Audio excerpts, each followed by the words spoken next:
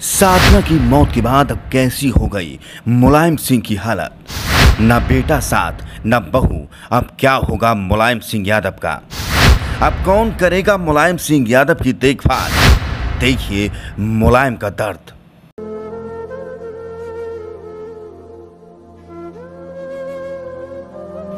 मुलायम सिंह यादव, जिन्होंने अपने जीवन की शुरुआत से लेकर अंत तक सिर्फ़ और सिर्फ़ संघर्ष किया। आंदोलनों से लेकर मुख्यमंत्री बनने तक उनके सामने चुनौतियाँ आती रहीं और वे उन चुनौतियों को पार करते रहे। उम्र के इस पड़ाव में आकर अब एक बार फिर मुलायम सिंह की चुनौतियाँ खड़ी हो गई हैं। मुलायम की पत्नी साधना गुप्ता तो इस दुनिया से चली गई, लेकिन अब जो परेशानी नेताजी के सामने खड़ी हुई है, उसे पार पाना सबसे बड़ी चुनौती है। अखिलेश यादव से लेकर प्रदीप यादव तक भाई सिपाल से लेकर परिवार के तमाम सदस्यों तक कोई भी ऐसा नहीं दिखाई दे रहा जो मुलायम के इस दर्द को समझ सके साधना गुप्ता खुद जीवन भर परिवार में खुद को स्थापित करने की कोशिश करती नहीं अपनी जिम्मेदारियों को पूरा करने में कोई कोर कसर बाकी नहीं छोड़ी, लेकिन पूरा यूपी जानता है कि सैफई परिवार में उन्हें वो दर्जा नहीं मिल सकता जिसकी वो हकदार थीं। साधना गुप्ता ने मुलायम सिंह यादव को संघर्ष के दिनों से अब तक बखूबी संभाले रखा।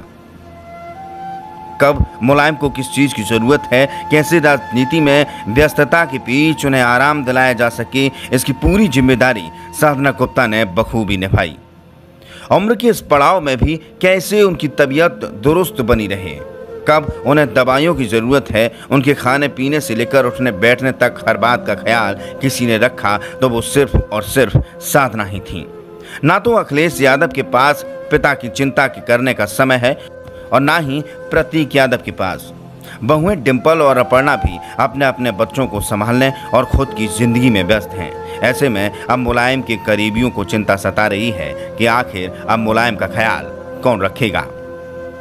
मुलायम के संघर्ष के दिनों में उनके साथ रहे कई समाजवादी नेता पहले भी कहते रहे हैं कि उम्र के इस दौर में तमाम बीमारियों के बाद भी अगर मुलायम सिंह यादव एक्टिव दिखाई देते हैं तो उसके पीछे सिर्फ़ और सिर्फ़ साधना गुप्ता की मेहनत और उनका प्रयास था।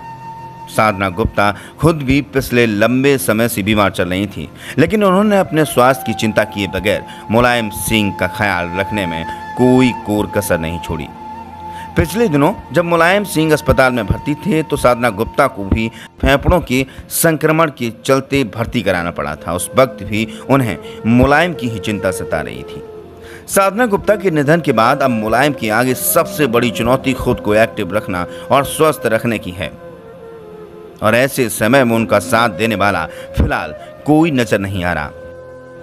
परिवार के किसी सदस्य को अब लगातार मुलायम के लिए समय निकालना होगा, ताकि ऐसा कोई तो हो जो नेताजी का ख्याल रख सके और उनकी ज़रूरतों को समझ सके। Bureau report.